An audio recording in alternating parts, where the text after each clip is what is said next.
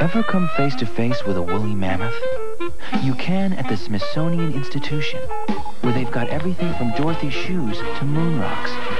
Intel is a partner in the Smithsonian's 150th anniversary because we think learning and discovery are important.